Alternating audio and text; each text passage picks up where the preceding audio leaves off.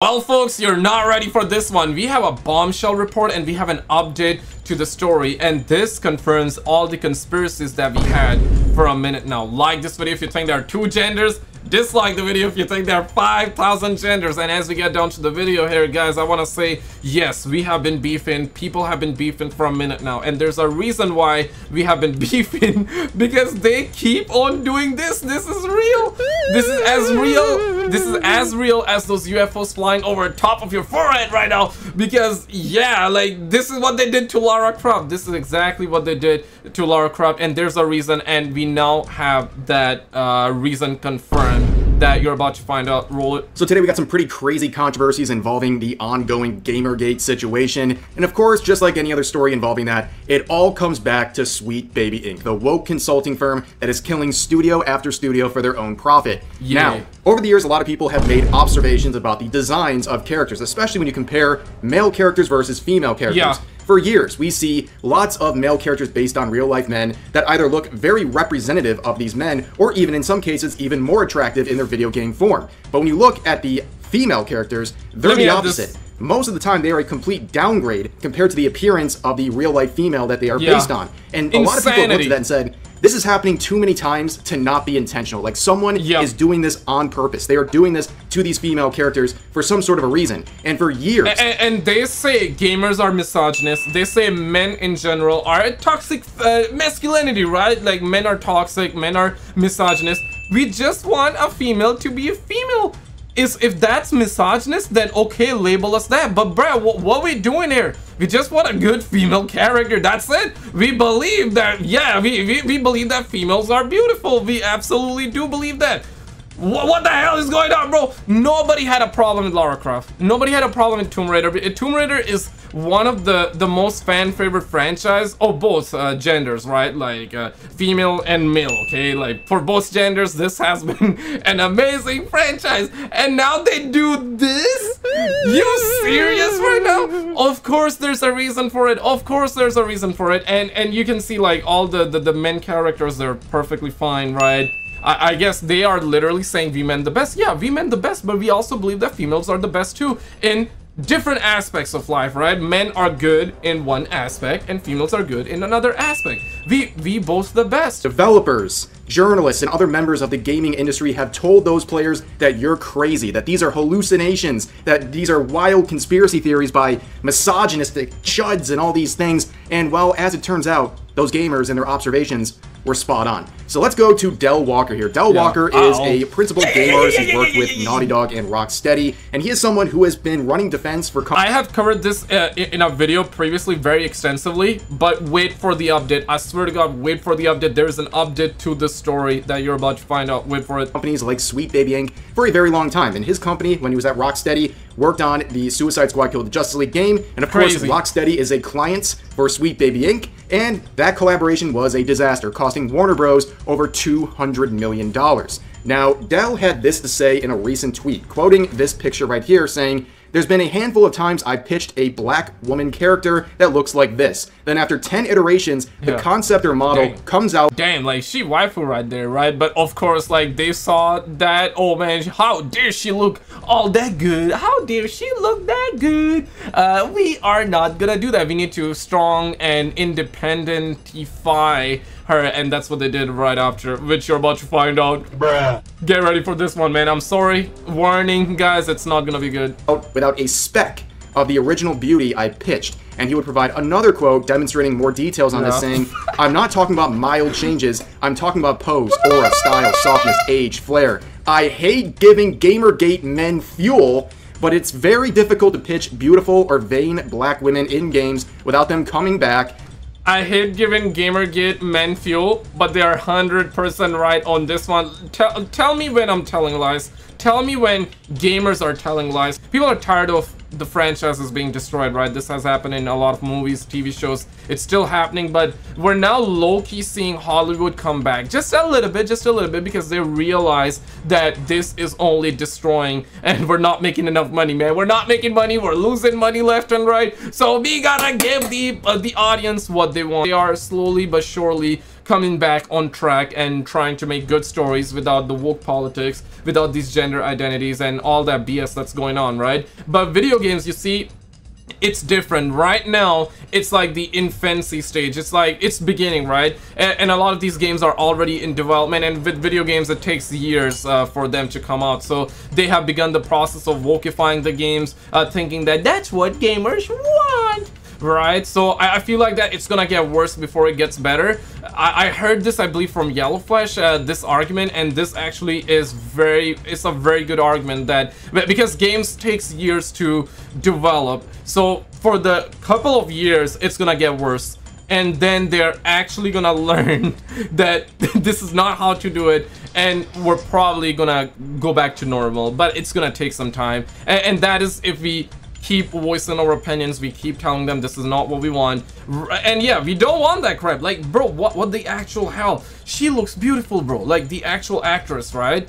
And, and this is what they did to the the actress in the game. That's just insanity bro. That's insanity. I heard that in america you can uh, sue people for farting in the wrong direction but okay i guess you cannot sue for that right? I am assuming. I don't know man. Like know. grocery store aunties there is room for both. Oh, I hate to give the Gamergate men fuel, but yes, they were right all along. These consultants and studios yeah. are making it almost impossible to make characters yeah, attractive. In this case, female characters and specifically black female characters. But it's pretty uh, easy to Crazy. guess that this probably goes. That that's racist, bro. That is racism right there. Yeah, they they're like, hey, no, bro. The the fact that you are against Yasuke, no, it's not even about being against Yasuke. People just wanted a, a, Japanese protagonist in a game that's set in feudal Japan, right? Exactly. And a lot of people are also saying, bro, okay, so you can also add Yasuke in it too you know, as a DLC or perhaps uh, alongside a Japanese male protagonist as well. And yeah, tell the story without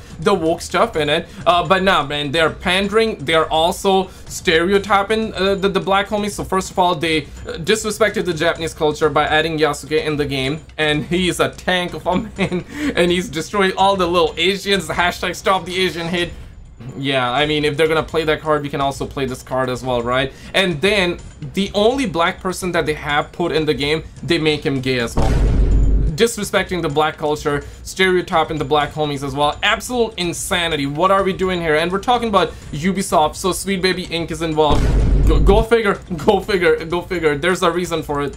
Across the board when it's coming to female characters. So, all these years, people saying that there's something going on here, well, they were correct. This is exactly what these studios are doing. Wait and it just it. begs the question, who is benefiting from this cycle? Who is benefiting from making these female characters uglier?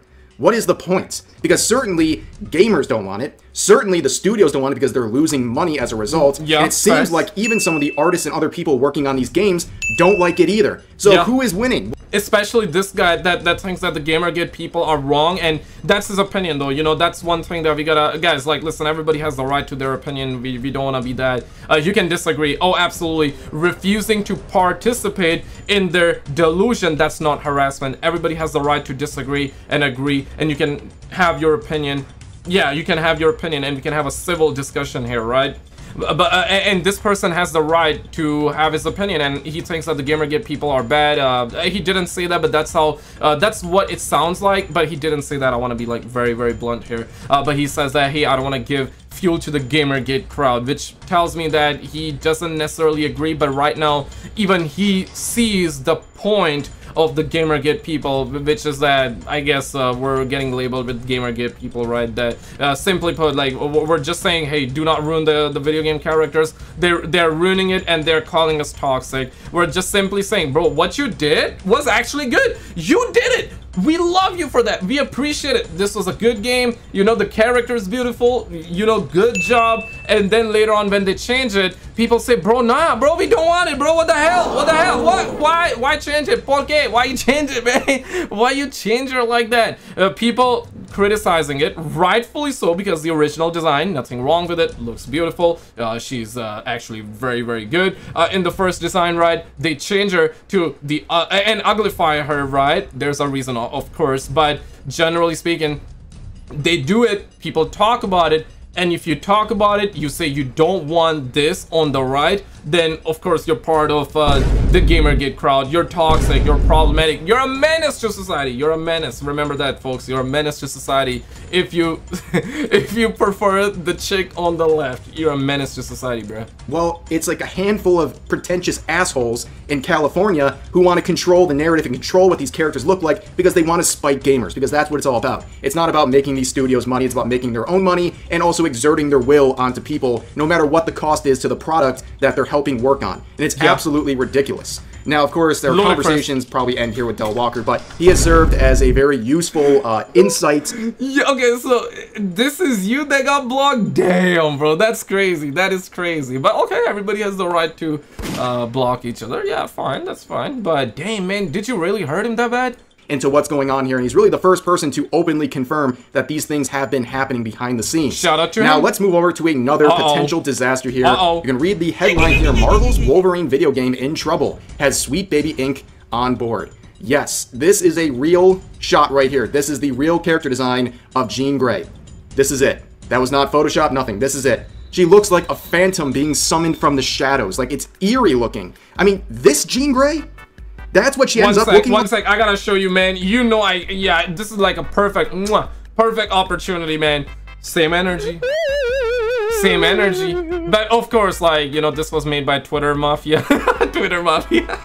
This was made by the Twitter homies, so the Twitter homies has definitely exaggerated a little too good, and I gotta say it is pretty nice. It is pretty nice, right? Uh, but same energy, same energy proves the point proves the point why the suckers hated Stellar Blade character. This is the original design and they ruined her. They ruined her too. And, and go figure, I covered this uh, in the last episode as well. I'm not sure if that episode is gonna go live before this because Dr. Disrespect situation happened. So uh, because of that, I'm delaying uh, this topic a little bit. But yeah, check this. So they say, and this is coming from Insomniac's, Insomniac's narrative director, who discusses lack of LGTV content in video games. Lack of it, guys. Lack of it.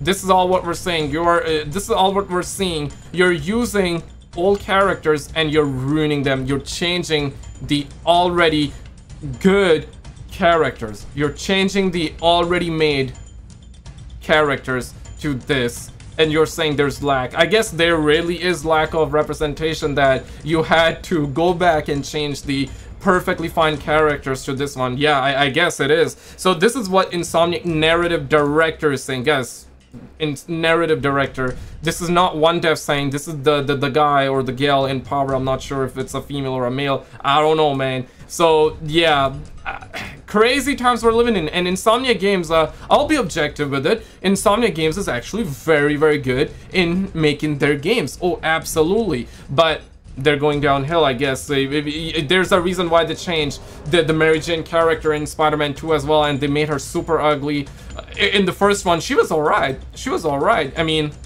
she was uh, looking like a good chick.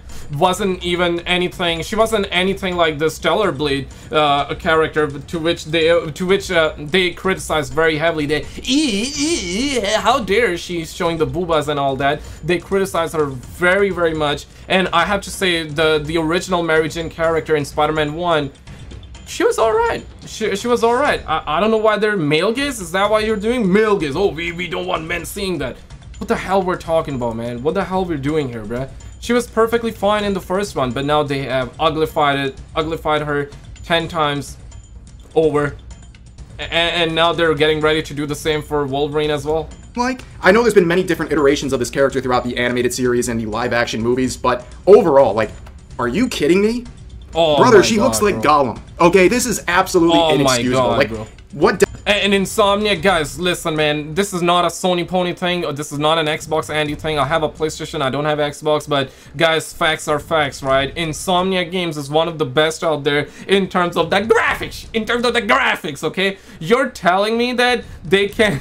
You're telling me that they cannot make a good looking game in 1080 i'm not even gonna go in the direction of 4k even though they make games uh, uh, and they have textures for 4k and they're gonna have this game in 4k as well this is looking 360p bad okay this is looking 360p bad look at that man jawline right there holy crap man what yeah It's Del. Walker was saying earlier in this video, like, Here it is in action. They are uglifying these female characters. It's very obvious. And also when you're basing it off of real people in other cases, like it's just offensive. It's an offensive thing to do. And this is what we're left with.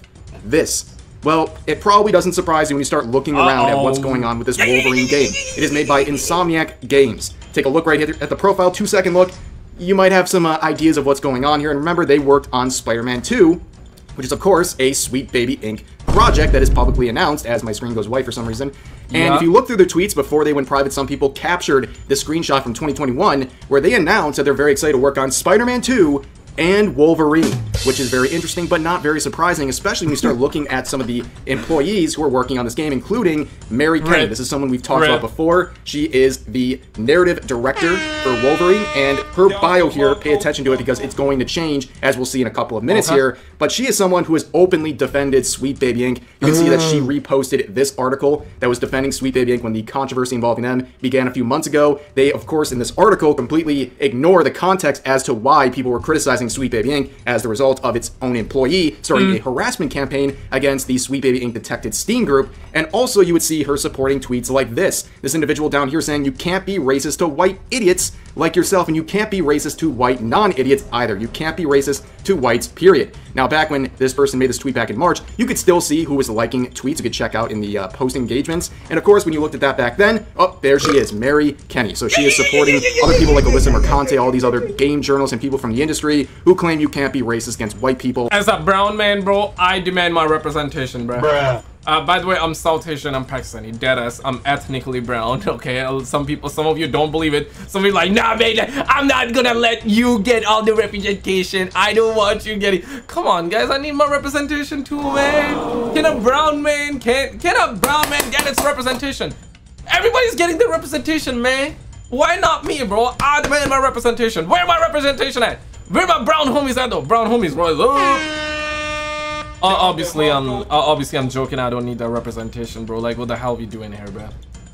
And of course, she would retweet this as well, sharing uh, the dictionary definition of racism that this person falsely believes excludes white people. It was all very embarrassing for this guy, but Mary Kenney reposted that as well. And she's also said this Some of you don't seem to understand how narrative consulting on games works, but don't worry, I do. Yeah, this is about Sweet Baby, because I've worked with that team, and they're one of the finest in the biz. 12 part thread. Uh, I ain't reading that. I've read enough. They are finest, they are stunning, they are brave, and most importantly, we went together to get a BBL as well. I know this is already really stupid, and trying to defend Sweet Baby is a giant mistake, not only for yourself, but, but, we don't want to have our video game characters, the female characters, having BBL though. Bruh. Yeah, I mean, they don't want their female characters in the game having BBLs, bruh. but also for the companies you're working on because right now they are a PR nightmare. Nobody wants to support anything that has anything to do with Sweet Baby, and it seems like yeah. the results are finally being shown with the Suicide Squad Kill the Justice League flop that people now can point to and say, hey, working with your consulting firm is a really bad idea as a studio. Mm. So mm. at the end of the day, money talks, and if they're losing hundreds of millions of dollars in their collaborations yeah. with these projects, people are going to look the other way and not hire people like Sweet Baby Inc. anymore. We saw it with... Uh, and Insomniac is different, right? Now, absolutely, I agree with that. And people have made this point that the reason Spider-Man 2 sold a lot is because of Spider-Man. And make no mistake, that's the main reason. It's Spider-Man. And generally speaking, the game is good, okay? I didn't buy it because at that time I was traveling and I didn't have my PlayStation and therefore you know what, I had a few weeks, uh, I was in my country, right, like visiting my family and just chilling out uh, and all that. So, uh, yeah, so I, I, basically went on YouTube and I just watched the entire walkthrough and was like, okay, I'm gonna just watch it. Uh, I, I, got a couple, a couple weeks till I get the chance to play. I don't think uh, I, I want to wait that long. Just let me just go ahead and watch it, right? Let, let, let's go ahead and watch it. I watched part one, I watched part two, I watched the entire thing.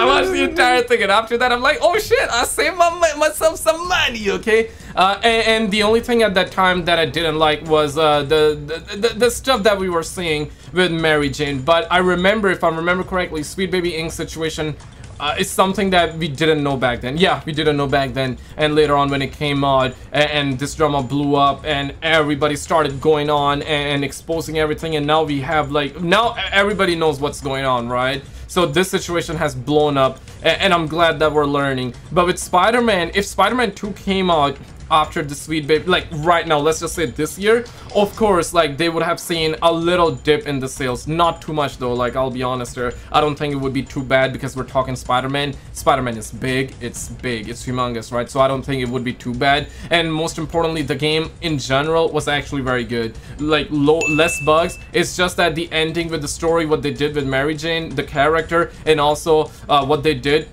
no other reason other than the woke stuff that the pandering like they wanted to make uh, her a girl boss right? Holy crap we're talking about a spider spider-man here. We're talking about a superhero game. Basically what these suckers did was that if mary jane wasn't around peter parker would have died. Holy crap like what we doing in in another scenario in a different game that was that would not be based off of a superhero totally makes sense that your partner saves the day for you after you have done the heavy lifting your partner saves you, you save your partner, beautiful, it's beautiful, makes sense. But we're talking about a superhero game. We're talking about Spider-Man for crying out loud, right? You're telling me that Peter Parker, Spider-Man would have died had it been had it been that Mary Jane was not around. What are we doing here? And of course, the only reason, if there was a legitimate reason for them to do it, okay. But the entire reason was this, right? They, they did it purposely and, and all that.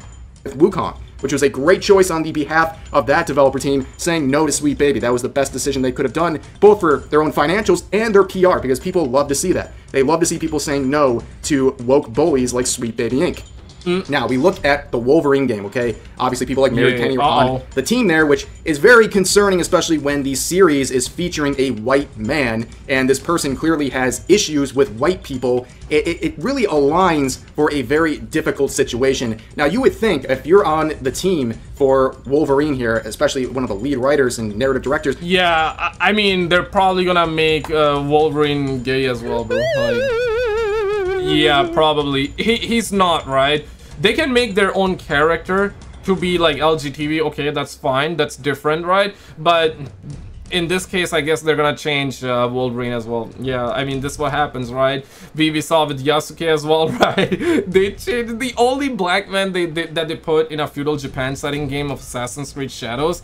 The only black man turns out to be gay, and also the other female character as well. We're talking feudal Japan, holy crap. And Wolverine, one of the straightest men alive, or, I mean, fiction, fictional character, right? One of the straightest Bruh. men, one of the straightest men, watch magically becomes gay in the next game.